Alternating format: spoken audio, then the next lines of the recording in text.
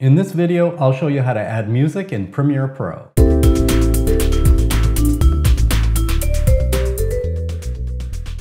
Hi everyone, I'm the Web Guru and I create tutorials on video, photography, and audio for content creators. So uh, be sure to subscribe to the channel and leave a comment. Okay, so here in Premiere Pro, I've already put together a short video and I want to add music. So first of all, I need to import the music by going up to File and then Import. And then I'm going to navigate to the file. It's right here. It's an MP3 file. So I'm going to import that and I can see it right here inside of the project panel.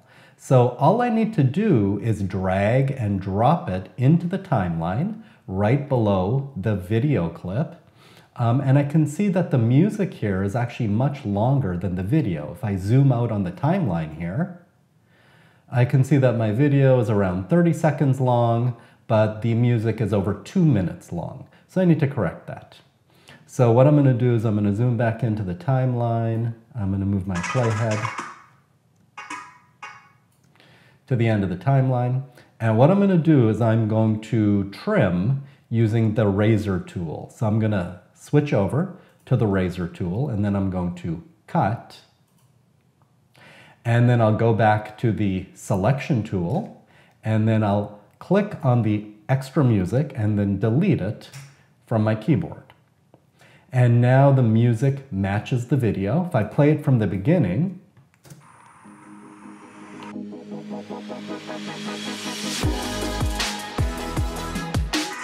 So I can see that actually the music is very loud. If these red lights turn on, that, the, that means that the music is too loud and it's clipping. So I need to fix that.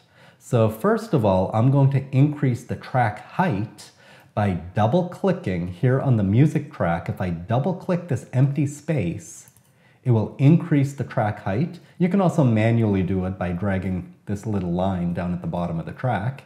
And there's a white line, it might also be yellow, across the clip. And if I drag that white line up, I'm increasing the volume. If I drag it down, I'm decreasing the volume. So I'm gonna bring this down to about minus 15 for this clip.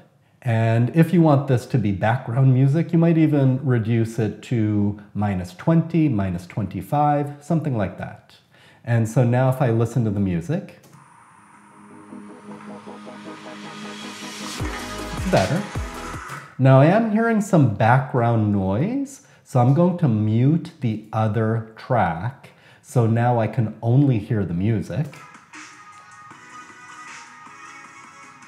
And that sounds much cleaner. Now, one more thing that I'm going to do is I'm going to add transitions to the music. So click on the music clip here, and then go up to the sequence menu and choose Apply Audio Transition.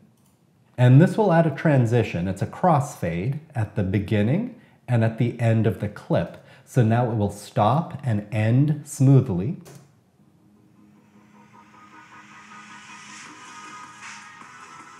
And then if I go to the end, the music fades out. Uh, I want it to be even smoother, so I'm actually going to double click on the transition here.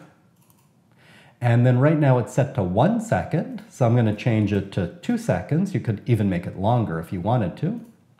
And now if I watch this clip, the music fades out even more smoothly. So this is pretty much done. Now I do want to show you one more complicated example. So I'm going to switch to a, another sequence that has a longer video. This video is five minutes long. So when I add the music into the timeline, uh, it doesn't cover the video because the music is only two minutes long. So you can actually add the music multiple times. And so I'm going to drag it again and then I'll drag it again until it covers the video. Now it's too long, so I'm gonna choose the razor blade tool and then back to the selection tool. And now the music is the same duration as the video.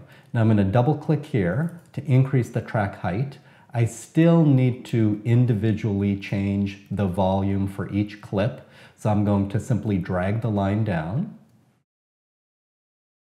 And then if I want to add transitions, I can select all of the clips by dragging with my mouse and then go up to sequence, apply audio transition.